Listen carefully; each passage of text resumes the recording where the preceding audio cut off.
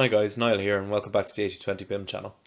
Today we're going to talk about how you can create a unique structural concrete beam in Revit. This is not necessarily just for concrete beams, uh, this can be used for any variant of beam that isn't standardized in your Revit family pack or that's not something that's readily available from a manufacturer or subcontractor download.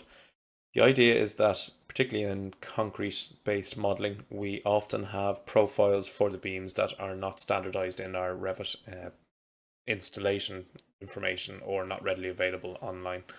And the idea is to quickly show you how you can go into the standard Revit beam family and edit it so that you can get any variant. As you can see on screen, I have a T-beam, an inverted T, and a beam with a duct. And in this instance, I'm going to very quickly show you how you can convert how you can convert the standard Revit beam family profile to account for this inverted T as well as give you the flexibility within the project to edit this freely and create duplicates and stretch the, the parameters of this with ease. So as you can see behind, I've already undertaken this exercise once to make sure that I'm not going to mess it up as I'm doing the, uh, the presentation in this video. And the idea is that we want to get create a family from the standard family that we can flex everything that we need to with ease. So as you can see on my width here, I can press 300 the center line remains consistent and the whole thing flexes to grow in in the um, the x axis. So this is the goal. So to begin, I'm going to shut out of this model. Apologies. And here's our base model um, that we're going to load our beams that we create into so we can show how it flexes, okay? So the first thing to do is go into your new under the file and go to family and under your standard template file, be it US metric, English, uh, English metric, US imperial, depends on where you're from. Scroll down and find your structural framing beams and braces model. Okay? And then you can open this family. As you can see, you already have parameters that show the, the length and the set out of the beam uh, I wouldn't recommend changing any of this as you see it. The reason why this is functional is because as you draw the beam in the model, it will essentially recognize this to this as your start to end point in the beam as you draft and it'll extend over that um, that distance. So ideally we don't want to change anything in the plan view, but what we want to do is edit the profile so that we can mimic our inverted T as we have it here. So we're going to go to our left view. And as you can see, we have our standard rectangular shape for the profile. When we select that, we can go to edit extrusion and you'll see that we actually already have reference planes in place that our geometry is appended to. So the first thing we want to do is draft out the rudimentary shape of the inverted T. So I'm going to remove Right, first thing I'll do is I'm going to place lines, okay, and we are going to offset our first line a nominal 50 mil. We're going to draft down 50, and we're just going to close, and then I'm going to select those two items, and I'm going to mirror them across the central axis, okay.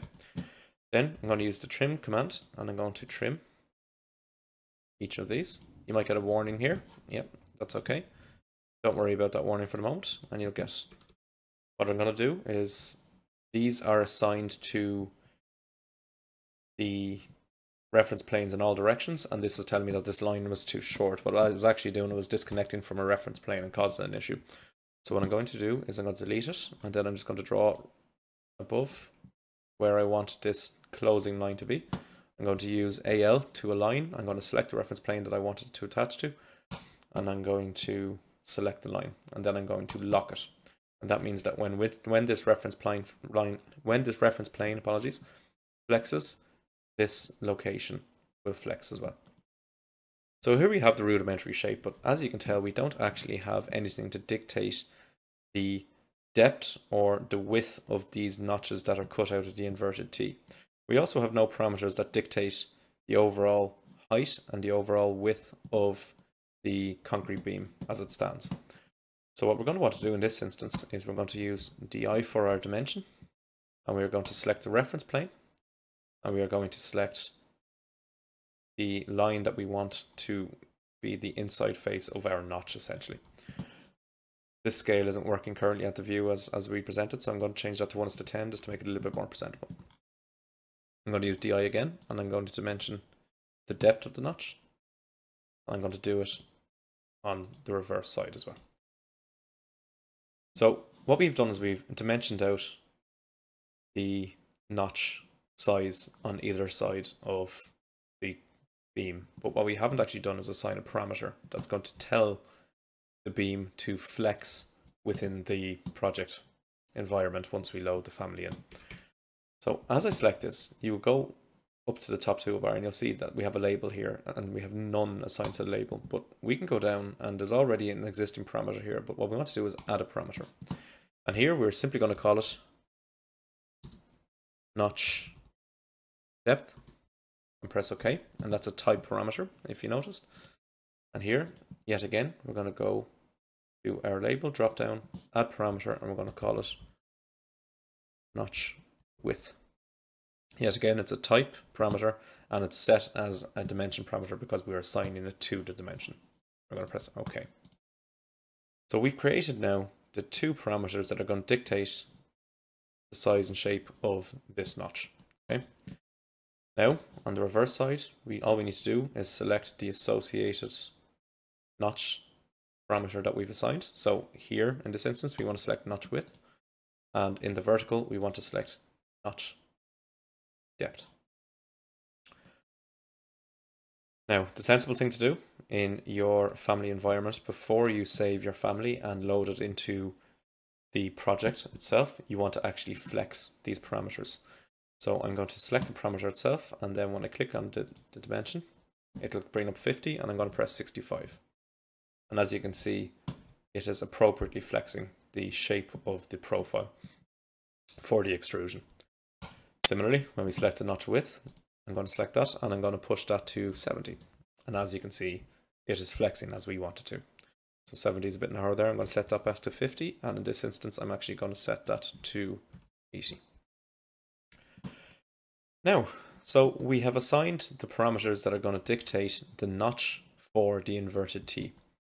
But what we haven't actually done yet is assign the overall height and width parameters for the concrete beam. So as you can see, we have the origin line going through the center of the beam and we've maintained that, but there's no need to change that in this instance. We also have a center line going down through the center of the beam. And both of these reference planes are how we're going to tell this beam profile to remain centered. And the way we tell it to remain centered on this point so that the midpoint is always the intersection, is we're going to use our dimensions by using pressing DI. We're going to select our outside reference plane, and then our center reference plane, and then the other outside reference plane. And then we're going to select the EQ above. And what that tells it basically is that at all times, if one side reference plane is to change, the other one has to remain equal to that relative to the center line. Similarly, I'm going to select the center, then the top and the bottom reference planes. And when, when finished with that dimensioning, I'm going to select the EQ to tell it yet again that if we say the overall height of this has to change, that it remains equidistant on both sides of the center line. Now we're going to add in the parameters that are going to dictate the width and the height of the overall inverted T-beam. So selecting the top reference plane, going down to the bottom reference plane, you can see that currently it's 300. Similarly, the left reference plane and the right reference plane, and you'll see that that's 200. Now, as we did before, we select the dimension itself and under label, we select add parameter. And here we call the parameter beam, uh, I'm going to call it beam depth in this instance. Okay, Yet again, it's a type parameter and it's grouped under dimensions automatically because we're assigning it to the dimension. And similarly, we select the width and we're going to add parameter and we're going to call this beam width. As we did before, we're going to flex both of these to ensure that they're behaving the way they should. And once we can confirm that these are behaving the way they should, we know that the integrity of the parameters is maintained and we can load it into our project family and have the flexibility that we want. So I'm just going to undo the two flexes that I made there and I'm going to finish that profile. Okay. Now I'm going to go to 3D space I'm going to go to File, Save As, Family. And as you can see, I have an inverted T-beam here already from the previous example I showed at the start of the video. So I'm just going to call this A and press Save. Now I'm going to load into the project. As you can see, uh, we have the inverted T-beam selected um, automatically because we loaded it in. But if it didn't automatically selected as we load in, if you press BM, it will bring up the beam, beam dialog. Failing that, go to your structure tab and select beam. Now in this instance, I'm going to use the on grid lines and I'm going to click and drag over the grids that I want to place it on. And as you can see, it automatically generates it across the grids. I find that absolutely fantastic. It's actually really good for creating the columns as well. So if you have a large project and you need to place the primary members, be it the columns and the beams, always use on grids where possible because it just speeds up the process. Now, it leaves this dialog open. It doesn't automatically finish that dialog, so you press finish. And as you can see, your beams stop start relative to your concrete columns, but the actual full width is between your grid intersections. So the full width of that beam is 6000. And when you look at the actual cut length, you can see that it's 5674.6 and that's because it is accounting for the column that it's building it's it's connecting into all right so it allows for the, the, the width of the column as well so now that we've brought these in i'm going to go to 3d view and as you can see these are these are quite um, small t-beam sections. Realistically something like this you would have at a higher level than what we've shown now.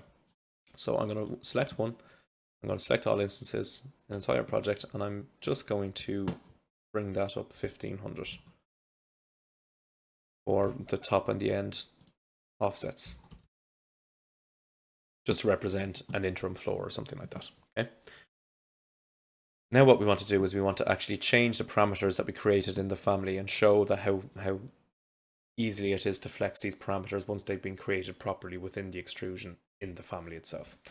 So we can go into edit type here and what is good practice in all these instances when you are changing parameters of a beam if you don't know that you are changing every instance of the parameter across the project, if you're working in view specific, you need to have the control enough and the understanding enough of what is happening in the project before you freely edit these type of dimensions okay because what you could do is you could have inverted t-beams placed elsewhere in the project that you're unaware of be working in an isolated view and then change these parameters and end up changing the type elsewhere in the project where they didn't need to change. So a good practice is to duplicate.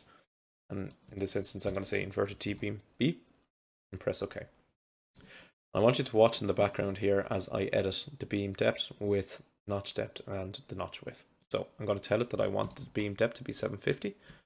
I want the beam width to be 350. I want the notch depth to be 150 and the notch width to be 75. I want you to look at the background and see what happens when I press OK.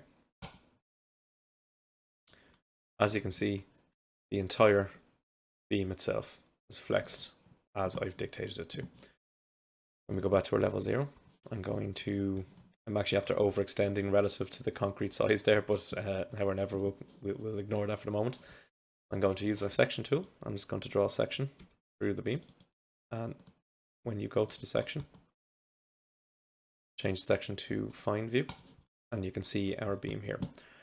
And just to check the validity of the dimensions, we had 750, 350, 150 and 75 respectively. And when I dimension this out, I'm going to change the scale of that to 1 to 20. You will see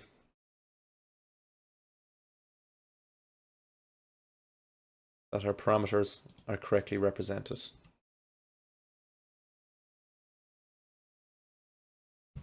So, in essence, that is as easy as it, gets for creating something like a unique concrete beam um, that you wouldn't necessarily have in your standard template or your standard libraries.